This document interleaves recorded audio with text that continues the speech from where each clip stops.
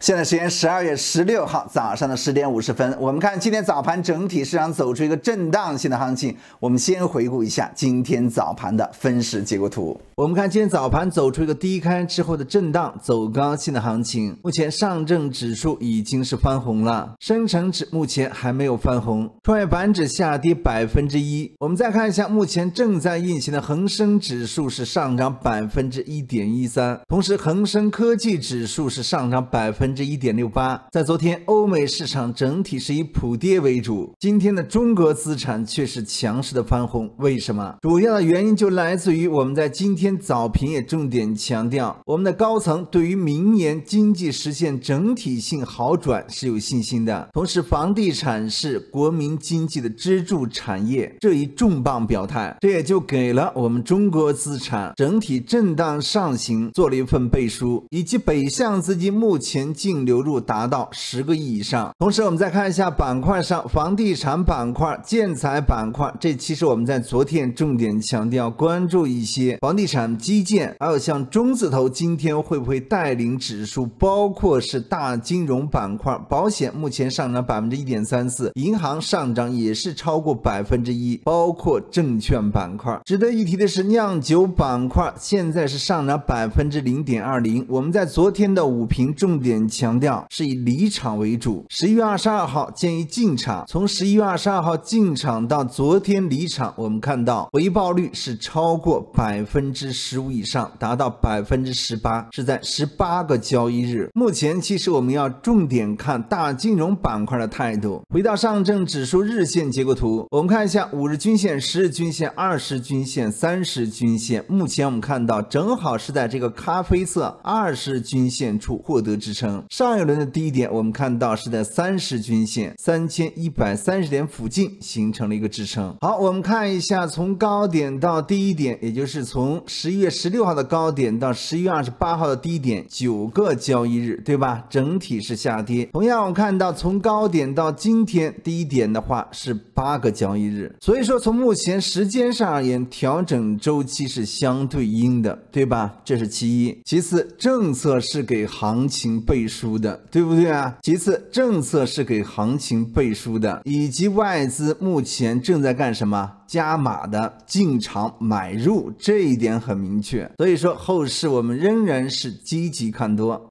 就像我们在近期在强调的是重板块，我们重的是什么？证券板块和汽车整车类的。当然，酿酒板块我们已经选择了高抛，已经超过百分之十七的涨幅了，还不抛，等什么呢？目前我们就是积极看多大金融板块。